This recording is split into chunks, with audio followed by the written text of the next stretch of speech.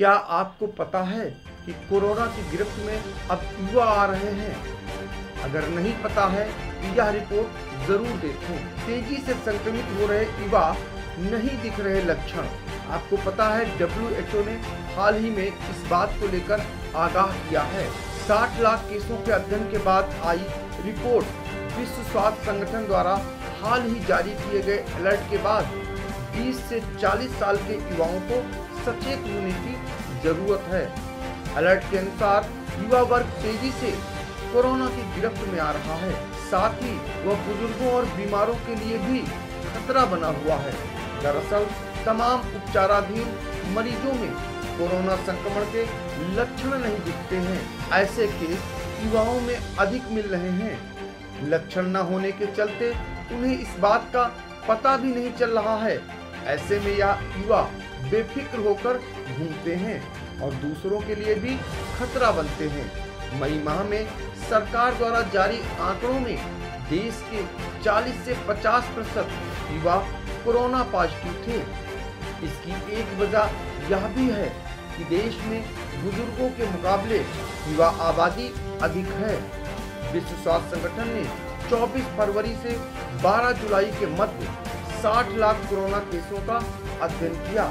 इसके अनुसार, इन पाँच माह में 15 से 24 साल की आयु वर्ग में कोरोना का संक्रमण तीन गुना तक बढ़ा है। एक दिन से लेकर चार साल तक के बच्चों में कोरोना के मामले 0.3 प्रतिशत से बढ़कर 2.2 प्रतिशत तक पहुँच गए हैं।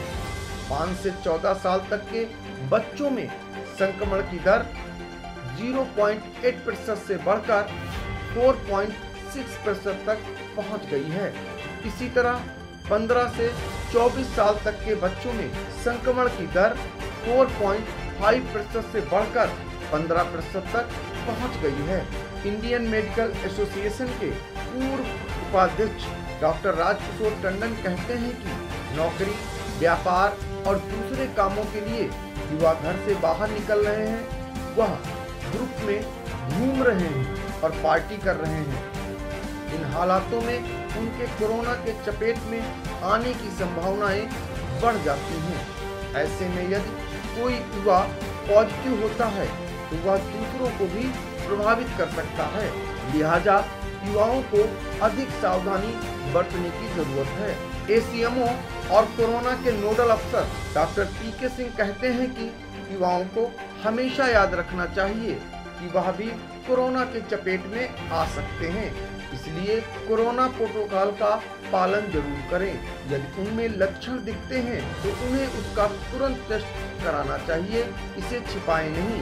इसके अलावा वे कोविड हेल्पलाइन पर फ़ोन करके सलाह ले सकते हैं। यदि बीमार महसूस करें तो खुद को आइसोलेट करते हुए ज़रूरी कदम उठाना चाहिए। रोग प्रतिरोधक क्षमता को मज़बूत करने के लिए पौष्टिक आहार और अच्छी नींद लेनी चाहिए। यदि दो कोरोना पॉजिटिव युवा बिना मास्क पहने 15 मिनट तक बात करते हैं और उनके बीच की दूरी तीन फीट से कम है तो वह क्लोज कांटेक्ट टाइम कहलाता है। इसमें कोरोना की पर्याप्त डोज लोड हो जाती है, ऐसे में खतरा बढ़ जाता है। इसलिए यदि आप युवा हैं तो किसी दोस्त या व्यक्ति के साथ क्लोज कांटेक्ट बिल्कुल न बनाएँ। बातचीत के दौरान मास्क लगाएँ, किसी से मिले तो कम समय में अपनी बात कहकर दूर हो जाएँ। ऐसा करने से संक्रमण की डोज कम हो जाएगी खबर आपकी नज़र हमारी देखते रहिए आई इंडिया